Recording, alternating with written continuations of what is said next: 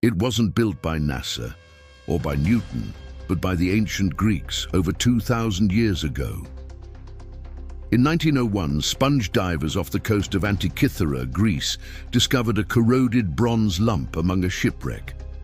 When scientists examined it decades later, they realized it was no ordinary relic.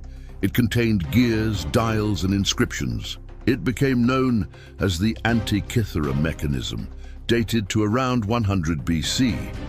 Made of at least 30 interlocking bronze gears, it could predict solar and lunar eclipses, track planetary positions, and even calculate the timing of ancient Olympic Games.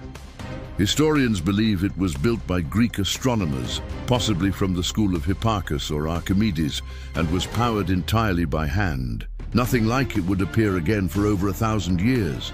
It is the first known analog computer, designed long before the concept of a machine age, lost in a shipwreck, rediscovered by chance. The Antikythera mechanism, proof that even in the ancient world, the future was already being calculated.